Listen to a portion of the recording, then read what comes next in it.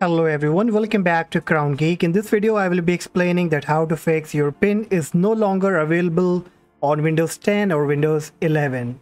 So if you're getting a message while logging to your account that something happened and your PIN isn't available, click to set up your PIN again and you're not even getting a message of sign in with a different option.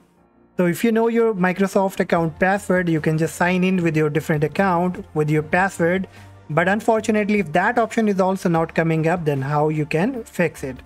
On my case, you can see I'm getting this pin option because I just fixed my problem and that what exactly I'm going to share with you. These are the easy steps and it will be fixed within a few minutes, okay?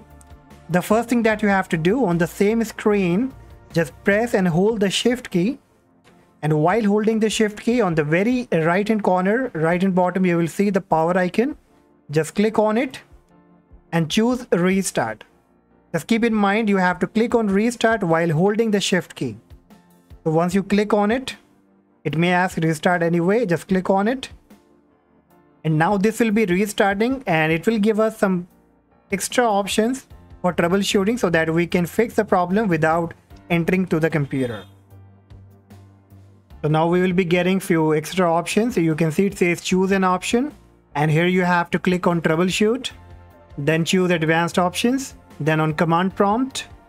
And here you have to type regedit that's regedit to open the registry editor and then hit on enter. The registry editor will now be up and here you have to look for h key local machine. Just double click on it. Look for software double click on it. Then double click on microsoft. And then scroll down you have to look for windows nt here it is, make a double click on it and choose current version. Now once you come here, you have to look for password less. So you have to scroll down and here you will find password less. You have to look for this. Just make a double click on it and then double click on device.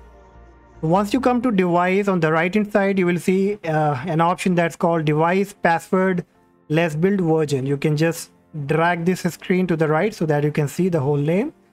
So this is what you have to look for. You have to make a double click on it. And here it says value data and it will be set to 2. What you have to do, you just need to re remove it and then type 0. Then click on OK and that's it. You just need to close it.